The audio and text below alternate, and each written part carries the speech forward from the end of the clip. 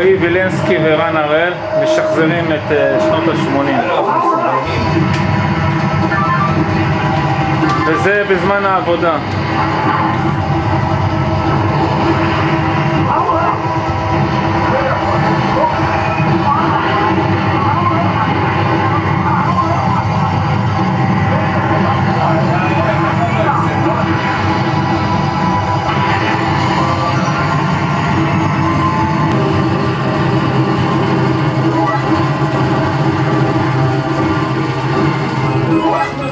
minha.